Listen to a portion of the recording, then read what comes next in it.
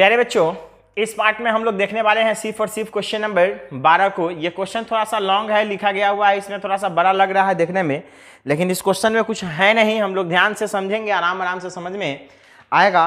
तो चलिए पहले क्वेश्चन को समझते हैं, फिर इसके सॉल्यूशन को हम लोग देखते हैं। दिया गया है इसमें दो कक्षाओं, ए तथा बी में कुछ विद्या विद्यार्थी बैठे हैं। मतलब दो को क्लासरूम है, दो को कक्षा है ए है और क्या है? बी है। इसमें कुछ विद्यार्थी बैठे हैं, यदि कक्षा ए से पाँच विद्यार्थी कक्षा बी में भेज दिए जाते हैं तो सबसे पहले कक्षा ए में कितना है, कक्षा बी में कितना है, वो तो हम लोगों को पता है नहीं। तो चलिए, क्या करते हैं, इसको हम लोग लिखते चलते हैं। पहले एक बार इसको देख लेते हैं ना? कक्षा बी में भेज दिए जाते हैं तो दोनों में विद्यार्थियों की संख्या समान हो जाती है। ठीक है? मतलब पाँच विद्यार्थी ए से बी में भेज दिया जाता है तो दोनों में क्या हो जा रहा है? इक्वल हो जा रहा है मतलब विद्यार्थियों की संख्या। यदि कक्षा बी यहाँ पे छूट गया है कक्षा, याद रखिएगा बी मतलब कक्षा बी की बात हो रहा है ना?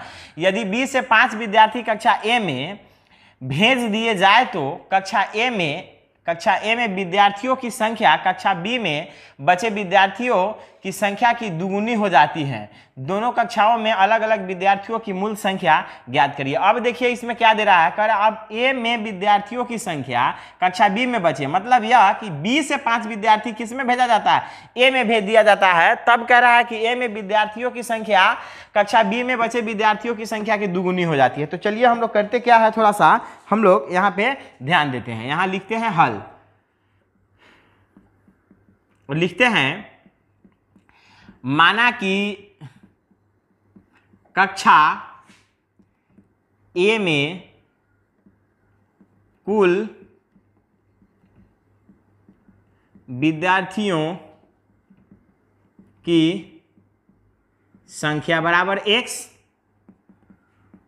तथा कक्षा बी में कुल विद्यार्थियों की संख्या बराबर ले लेते हैं वाई यहाँ लिखेंगे, तब प्रश्नानुसार। थोड़ा सा ध्यान दीजिए।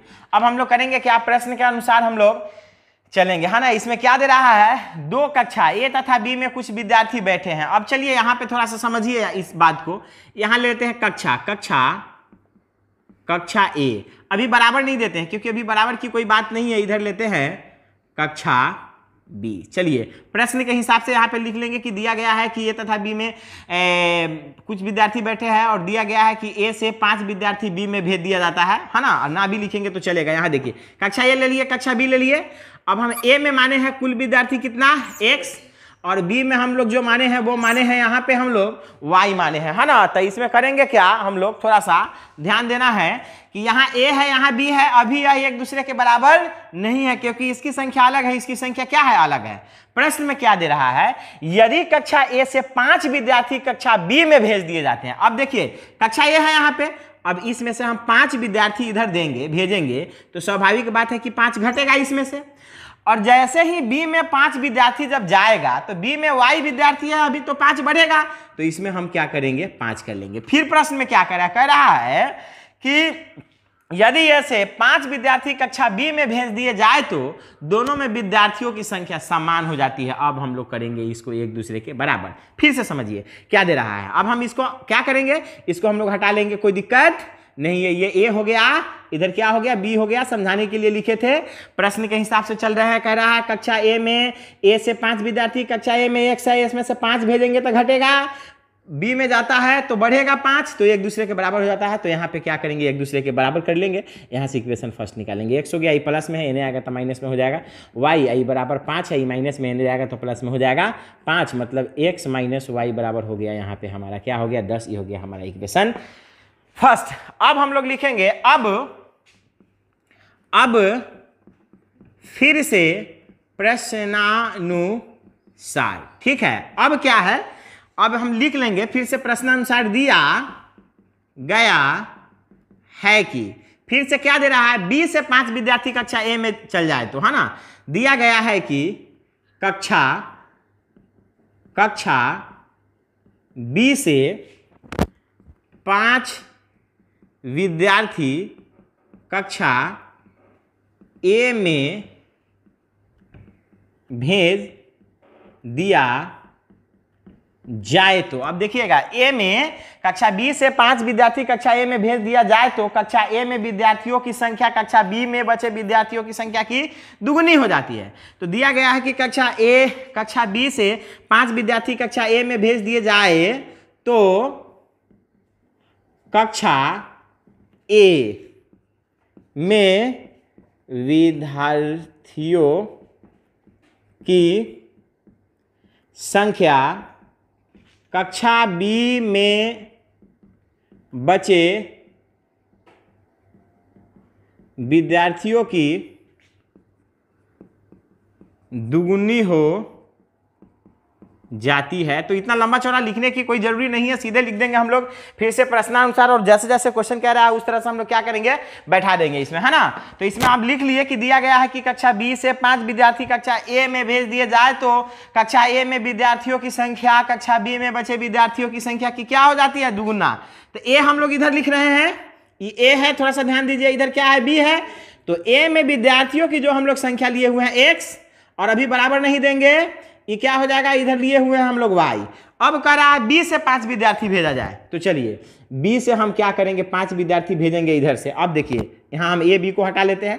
बी से पाँच विद्यार्थी हम लोग भेजेंगे। तो स्वाभाविक बात है बी से पाँच बी वाला कक्षा से पाँच विद्यार्थी आएगा। ए में तो बढ़ेगा पाँच। तो इसमें क्या होगा कि पाँच बढ़ जाएगा। तो अब क्या कह रहा है? अब ए का जो विद्यार्थी की जो संख्या जो हो गया, यहाँ हम बराबर दे रहा है।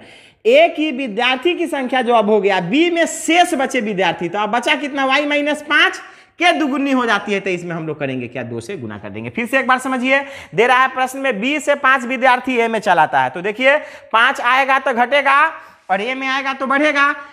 तो अब इस स्थिति में ए की विद्यार्थियों की संख्या बी में शेष बचे विद्यार्थियों की संख्या की दुगुनी हो जाती है तो दो से हम लोग करेंगे क्या? इसमें गुना कर लेंगे, ये हो जाएगा एक्स प्लस पाँच एक्स प्लस पाँच बराबर हो जाएगा टू वाई माइनस दस। और ये हो जाएगा एक्स माइनस टू वाई और बराबर माइनस दस माइनस पाँच, यानी कि एक्स माइनस टू वाई बराबर हो गया माइनस में पंद्रह हो गया। अब हम लोग करेंगे क्या? ये हो गया हमारा इक्वेशन नंबर टू अब हमारे पास दो गो समीकरण यहाँ पे आ चुका है। समीकरण वन समीकरण टू यहाँ से कक्षा ए और बी के विद्यार्थियों की संख्या, कुल संख्या हम लोग ज्ञात कर सकते हैं। तो यहाँ लिखेंगे, अब अब समीकरण फ़र्स्ट माइनस सेकेंड करने पर। समीकरण फ़र्स्ट हमारा x माइनस वाई बराबर दस है और सेकेंड इक्वेशन जो आया x माइनस टू वाई बराबर माइनस में पंद्रह है। घटाने पे तो ये माइनस, ये प्लस, ये हो जाएगा प्लस। ये कैंसिल हुआ और यहाँ माइनस में एक वाई प्लस में दो वाई तो यहाँ बच गया वाई और बराबर ये पंद्रह और दस, ये हो गया पच्चीस। अब थोड़ा सा हम लोगों को ध्यान देना है। यहाँ पे लिखेंगे, अब वाई का मान समीकरण फ़र्स्ट में देने पर। समीकरण फ़र्स्ट है, x माइनस वाई बराबर दस। अब देखिए, x के x माइनस वाई की जगह पे रख देंगे, पच्चीस बराबर हो जाएगा दस। यानी कि x बराबर हो गया दस प्लस पच्चीस। मतलब यह कि x का मान हमारा कितना गया? पैंतीस। अब देखिए तो y का मान पच्चीस आया, x का मान कितना आया? पैंतीस आया तो हम लोग आराम से यहाँ पे लिख लेंगे। अतः, यहाँ देखिए, अतः कक्षा ए में कुल विद्यार्थियों की संख्या बराबर हम लोग एक्स लिए थे तो एक्स का मान जो हमारा आया है वो है पैंतीस। तो ये हो गया पैंतीस तथा कक्षा बी में कुल विद्यार्थियों की संख्या बराबर क्या लिए थे? वाई वाई की जगह पे कितना आया है? पच्चीस, यही हो गया हमारा। क्या हो गया? आंसर हो गया। आप चलिए, ध्यान देते हैं थोड़ा सा। उम्मीद है आप लोगों को समझ में आया होगा। बाई देवे यह क्वेश्चन तो ऑब्जेक्टिव में इस टाइप का पूछेगा नहीं। बाई देवे यदि पूछ लिया तो इतना टाइम और इतना पेज बर्बाद करने की कोई ज़रूरी नहीं हम लोग ऑप्शन देख करके इसका सही आंसर हम लोग क्या करेंगे? चुन लेंगे। तो आंसर में कहीं ना कहीं ये रहेगा। क्या रहेगा? ए और बी की बात है तो यहाँ पे देखिए, थोड़ा सा ध्यान दीजिए। ये रहेगा पैंतीस, पच्चीस, इस टाइप से रहेगा। किसी में रहेगा पैंतालीस और 35 ये रहेगा। ये मान लीजिए ए में हो गया ई बी में हो गया। सी में ले लेते हैं 15 25 और डी में ले लेते हैं हम लोग, मान लीजिए यहाँ 25 और यहाँ ले लेते हैं 35 ठीक है, आप देखिए। तो हम लोग ऑप्शन से कैसे इसका चयन कर सकते हैं? ठीक है तो हमारा आंसर अभी हमको पता चल गया कि 35 और 25 है तो चलिए नीचे से हम लोग चेक करते हैं। कह रहा है ई ए का हो गया ई बी का। सब में पहले ए है उसके बाद बी है है ना? तो कह रहा है कक्षा ए में ए से पाँच विद्यार्थी बी में जाएगा तो एक दूसरे के क्या हो जाएगा? वो बराबर हो जाएगा। देखिए तो इसमें से पाँच जाएगा तो ये तीस हो जाएगा लेकिन ये दस से बचेगा। मतलब बराबर नहीं हो रहा ये गलत है। इसमें से पाँच इसमें जाएगा तो ये चालीस हो जाएगा। ये बीसी बचेगा ये बराबर नहीं है ये गलत हो, हो जाएगा ठीक?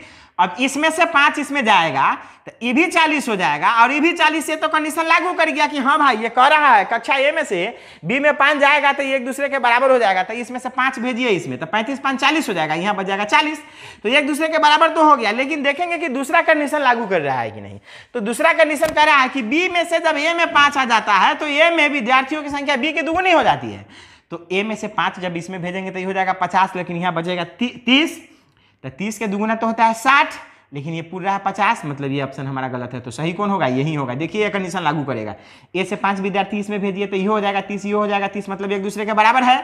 अब चलिए, इसमें से पाँच इसमें भेजिएगा तो ये चालीस हो जाएगा ये बीस बचेगा। तो देखिए तो बी बीस बचेगा ये चालीस तो बीस दुना चालीस मतलब ये दुगुना भी हो रहा है, और इस, इसमें से ही जा रहा है तो बराबर भी हो रहा है मतलब ये ऑप्शन नंबर ये कंडीशन लागू कर रहा है तो हमारा आंसर हो जाएगा। यही, चलिए, उम्मीद है आप लोगों को समझ में आया होगा। अब इसके बाद वाले पार्ट में हम लोग देखेंगे, इसके बाद वाले प्रश्न का